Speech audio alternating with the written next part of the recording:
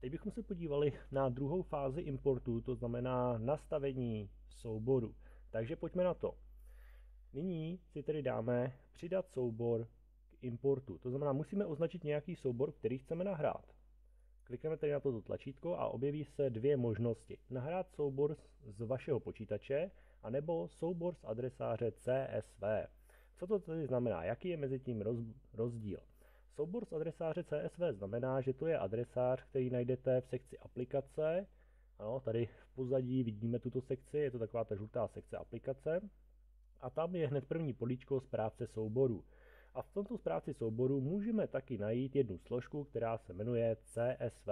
A v této složky můžeme určité soubory nahrávat. Tady v podstatě ještě podotknu to, že tento adresář se tedy jmenuje CSV, ale neznamená to, že z tohoto adresáře můžeme nahrávat pouze CSV soubory. Můžeme v tomto adresáři s názvem CSV soubor mít také uložené XML soubory a ty také můžeme pomocí tady toho tlačítka vybrat a také tedy nahrát. Ano, to znamená, tato možnost nám umožňuje vybrat jak CSV soubor, tak i XML soubor, pokud se nacházejí v daném adresáři CSV.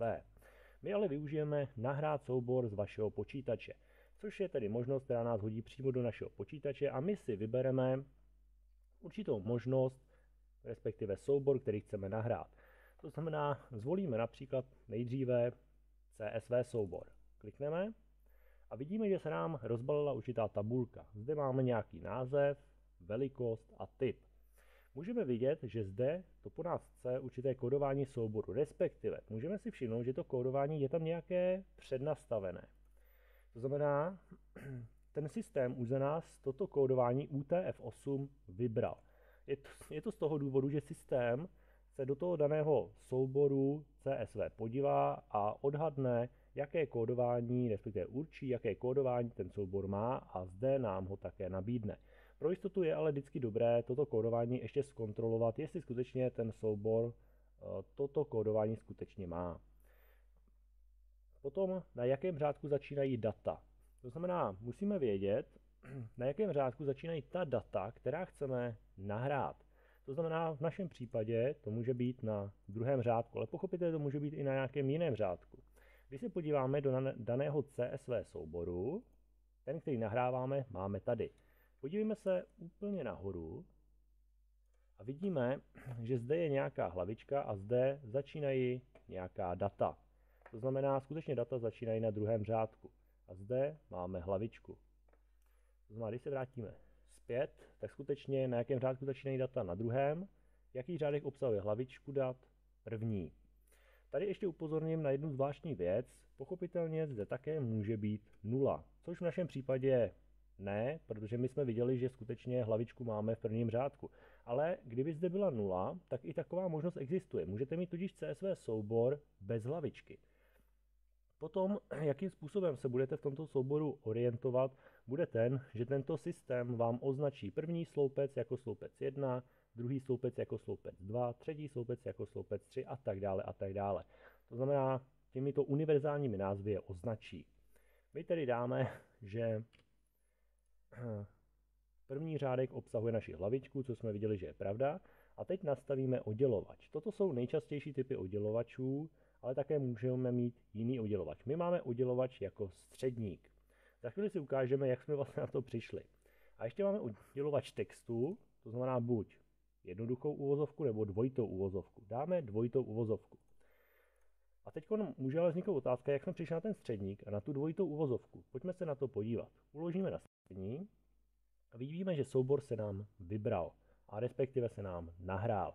Teď zvolíme možnost oka a podívejme se na to, že tady, podívejme se například na toto označení. To je nějaký kód výrobku, ale všimněte si, v čem je tento text uvoze.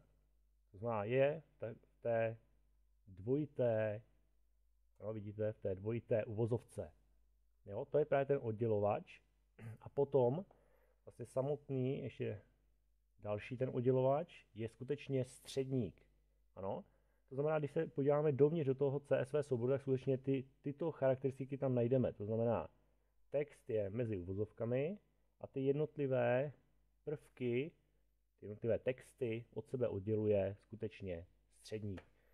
Takže když se tam znovu podíváme pomocí této tuštičky, je skutečně nastavení oddělovače je středník a oddělovač textu je, jsou uvozovky, respektive tato dvojitá uvozovka. A dáme tedy uložit nastavení. Nyní, kdybychom tento soubor chtěli nahrát, tak ho zvolíme k importu a pokračovali bychom dalším krokem. My se ale tady ještě zastavíme, ještě si ukážeme nahrání XML souboru. To znamená, dáme opět nahrát soubor z vašeho počítače, nebo pokud by se XML soubor nacházel v adresáři CSV, tak můžeme zvolit i, tu, i tu, tuto možnost. Nahrát soubor z vašeho počítače dáme tedy a zde vybereme XML soubor.